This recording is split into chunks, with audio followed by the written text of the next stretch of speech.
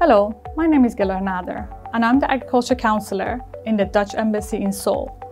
As an Agriculture Counselor, together with my team of experts, we make an essential contribution to strengthening the international position of the Netherlands in the area of agriculture, food, nature, and fisheries.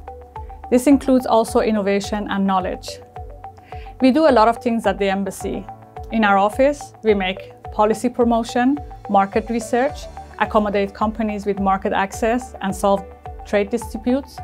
Also, we do matchmaking and conduct projects such as demo farms, illustrating the Dutch expertise. Last year alone, we helped increase the exports from the Netherlands to South Korea with 4%, with a total value of 418 million euros.